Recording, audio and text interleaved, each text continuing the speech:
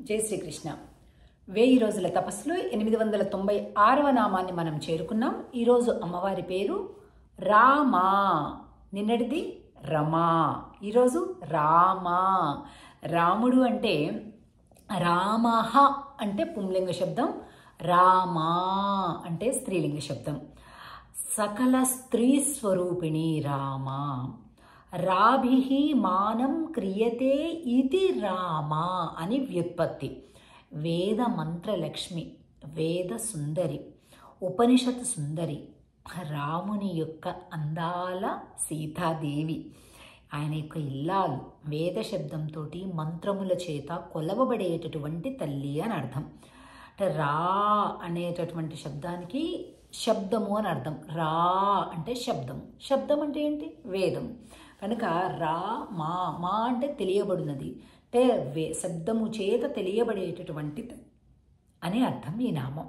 ఇక నామాన్ని మనం పదకొండు సార్లు పలుకుదాం.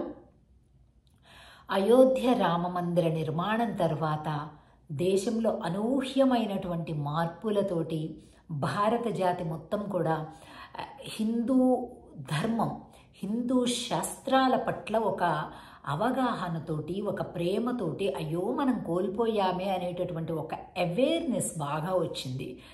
అది చాలా ఆనందంగా అనిపిస్తుంది. ఒకప్పుడు గోవుల గురించి లేకపోతే దీని గురించి మాలాంటి ప్రవాచకులు చెప్తుంటే అంతవరకే పరిమితిగా ఉండేది. అది చాలదు. ఎవరు ముగ్గురు నలుగురు చేస్తే చాలదు అలాగా. ప్రతి ఒక్కరికి కూడా కావాలన్నమాట ఆ ఒక అవేర్నెస్ అది మనది అని అనిపించాలన్నమాట. ధర్మం అంటే మనది అనిపించాలి. కనుక ఈవేళ ఆ రకమైనటువంటి బీజాలు బాగా ఈ సోషల్ మీడియా మాధ్యమ పుణ్యంగా బాగా కలుగుతుంది. కాబట్టి దానికి సంబంధించిన ఒక వీడియో నన్ను చాలా ఆనందింపజేసింది. అది ఎవరో ఎక్కడో తెలీదు. కానీ ఇలా ఉండాలి. అలా ఉన్నారు ఈవేళ కాబట్టి దాన్ని నేను ఈవేళ జతపరుస్తాను. సేవిద్దాం. మనందరం కూడా అలా తయారవ్వాలన్నమాట ప్రతి అక్షరం చాలా వాల్యుబుల్గా ఉంది. అతను మాట్లాడింది. దాన్ని చూద్దాం. ఇక నామాన్ని పలుకుదాం. ॐ रामायै नमः। ॐ रामायै नमः। ॐ रामायै नमः। ॐ रामायै नमः। ॐ रामायै नमः।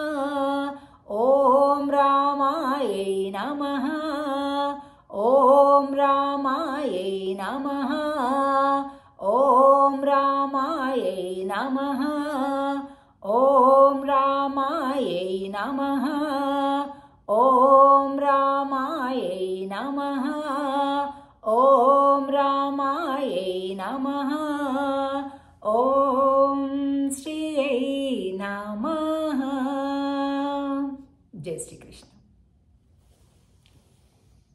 కృతజ్ఞతలు తెలియజేస్తున్నాం. ఒక హిందువుగా బతకపోతే ఈ దేశం అనేది రేపు పొద్దున ప్రశ్నార్థకం అవుతుంది. గత కొన్ని సంవత్సరాలు పెట్టి చూడండి.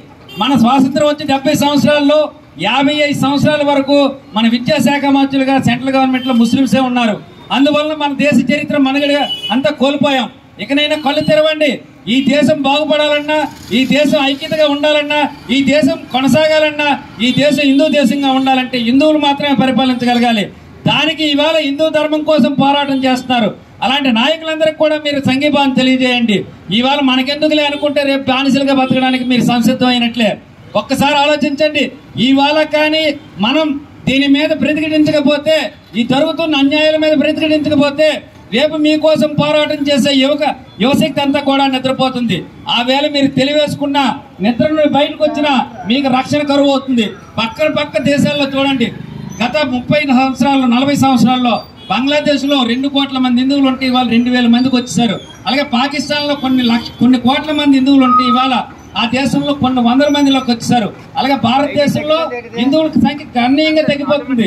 అదే విధంగా మన తాలూకు ఆస్తులకు కానీ మన తాలూకు మనుగడకు కానీ ప్రశ్నార్థకు మనమే అవుతున్నాం. ఇతరులు కాదు.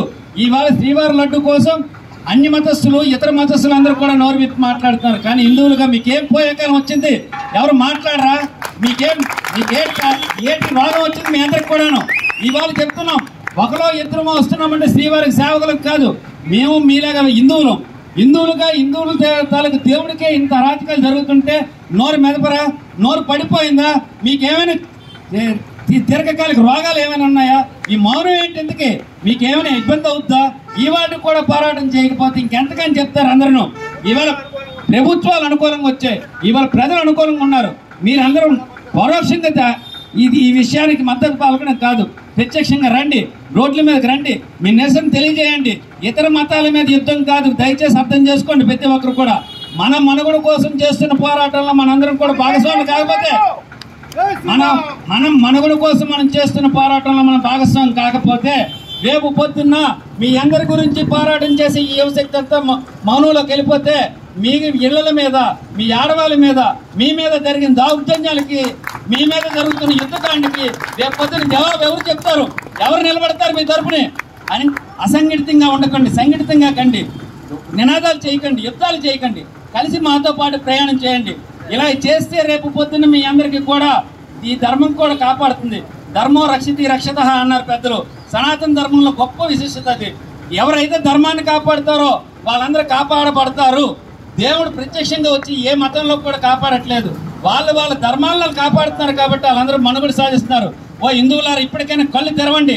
మీ ధర్మాన్ని మీరు కాపాడుకోండి. ఇంతకన్నా గొప్పగా చెప్పలేం ఇంతకన్నా బాధగా చెప్పలేం ఇంతకన్నా కష్టంగా చెప్పలేం. దయచేసి ప్రతి ఒక్కరికి తెలియజేస్తున్నాం. ఈ చుట్టుపక్కల ఉన్న వాళ్ళందరూ కూడా ఏం జరుగుతుందని దూరంలో చూడటం కాదు. వచ్చొక్కసారి కలవండి మాతోని కలిస్తే ఏం జరుగుతుందో తెలుస్తుంది. తద్వారా మీ అందరూ మాట్లాడడానికి అవుతుంది ప్రతి ఒక్కరూ ఈ వారానికో నెలకో పది రోజులకో తిది వార నక్షత్రాలు లెక్క గోవులకి వెళ్ళడం కాదు. పూజ చేస్తే ప్రతిఫలం రాదు. నీ దేవుని నువ్వు కాపాడుకో. అప్పుడు ప్రతిఫలం వస్తుంది. సాక్షాత్ దైవంతాలకు ప్రసాదంలోనే కల్తీ జరిగితే మీకు సిగ్గు లేదా? మీ అందరికి బుద్ధి లేదా? మీరు మనుషులు కారా మీరు హిందువులు కారా మీరు అసలు మనిషి పుట్టారా లేదా?